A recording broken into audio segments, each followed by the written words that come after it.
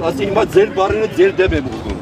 Դուք չեք տիրապետում, թե ինչ վիճակում են գտնվում հայ զինվորները Ղարաբաղում։ Այո։ Ձեր աշխատողները ձեզ սխալ ինֆորմացիա են տալիս։ Եվ մեր միակ պահանջը լսեք, որտեվ գիտեք, վարչապետը շատ ունակ է, խոսքերը այսպես փոխելու եւ իրավիճակը փոխելու լպրծուն պատասխաններով լղոզելու։ Այդ լղոզելու փորձը սոտքի մասին խոսալներ, որ ծնողներից մեկը ասեմ սայթակեց։ Ասի ստոպ, չենք շեղվում,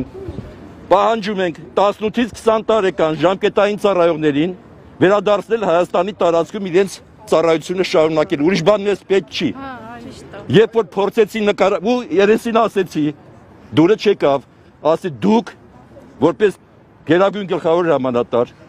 որպես վարչապետ, որպես կառավարություն եւ պաշտպանության նախարարությունը մոռացել է զինվորներին։ Այո։ Զինվորը մոռացված է։ Այո Երբ որ ես նկարագրեցի, թե ինչ վիճակում են ապրում մեր զինվորները, պատասխաններից մեկը լսեք ինչ ասում։ Ասում է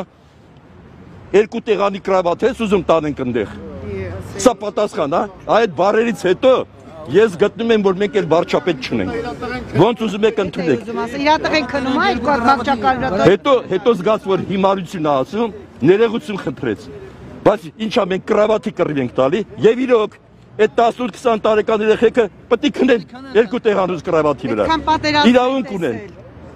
Նրանց առողջությունը քայքայվում է, մեր այս ամբողջ խառնվելը, նայա, որ քնում են գետնի վրա, քնում են դիակների կողքին, կարողա դիակները արդեն հանձնել են անցելը։ Դիակների շորերն են։ Մեզ փորձեց հավաստիացնել, որ շատ կար ժամանակամիջոցում կեցության հարցերը կլուծվեն։ Այդպեսի բան չկա։ Նորից ես կասկած կներեք էլի։ Ես ասի որ չեմ հավատում։ Իրա բերանից դուրս եկավ ճգնաժամային վիճակում ինչ եք պահանջում։ Պատասխանը եղավ ճգնաժամային վիճակում։ Այդ ինչ փողերով պետք է կառուցեք զինանոց, երբ որ զինանոց չկա։ Երեք հատ զինանոց է մնացել։ Անուններով կարամ ասեմ։ 20000-ին ո՞նց եք տեղակայելու։ Բերեք այստեղ թող մնան ոչ թե մեր տներում, այլ զորանոցներում, որտեղ տանիք կա, որտեղ զուգարանն էլ է տանիքի տակ, ճաշարանն էլ է տանիքի տակ։ Նրա պատասխանը ինձ հիասթափեցրեց։ Չեմ հավատում, երկու օր խնդրեց, դրա համար ես կոչ արեցի, որ հավաքվեն այստեղ ծնողները։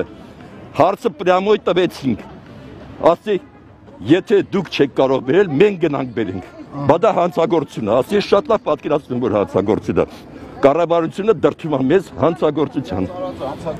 Ես հիմա գտնում եմ, որ եթե մեզ չեն պատասխանում, ճիշտ է երկու օրը էլ ժամանակի կորուստ է, մենք դիմենք մի հատ գրավոր հայտարարությամբ։ Բոլորը ստորագրենք տակը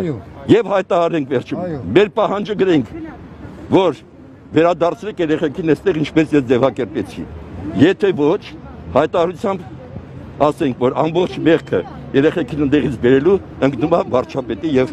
ուրեմն պաշտպանության նախարարության վրա։ Սա է մեր Որ նպատակը։ է սահմանենք, որ գնանք մեր երեխեքի հետևից, գնանք երեխեքին բերենք։ Այ մի կոնկրետ օր սահմանենք, որ եթե չեն անում կառավարությունը չի անում, մենք մեր ուժերով գնանք մեր երեխեքի հետևից։ 23-24 տարեկան։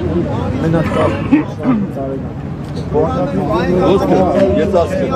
ժամկետային ծառայողների մասին է խոսքը։ Դրանց մեծ մասը 15-20 տարեկան է։ Այս Ժամկետայինում այդ տարիքը չի խաղում։ Բայց Հավնայդեպս իմ մոտ երկուսն կանելի։ 10-20 կարող է բրիպում է մտեղ։ Ես ընդունում եմ։